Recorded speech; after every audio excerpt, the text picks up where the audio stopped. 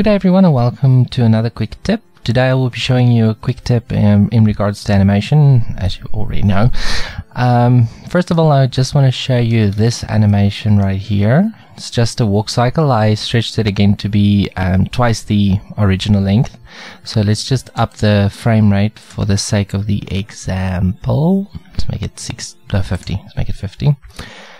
Uh, just want to stretch that out. Now what I've already done here is I've done a basic walk cycle, not super fancy since this is going to be an extra for another project.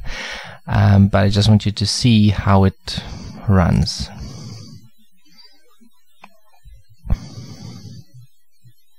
See, nice and loose, loops fine.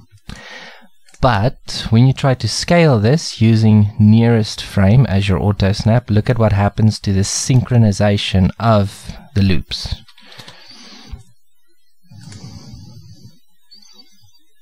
Look at what happens with his legs, see?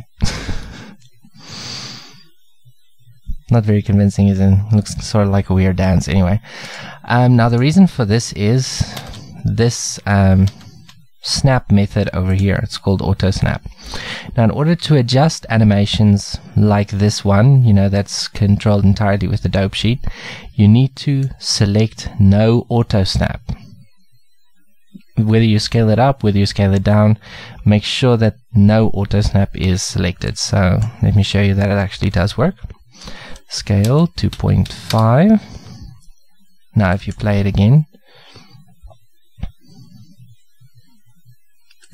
see over here, over there, absolutely solid. And that's it for this quick tip. I hope this helps you. If you were confused about why your animations were going all wonky when you tried to adjust them, this is probably the reason. So have a great day and God bless.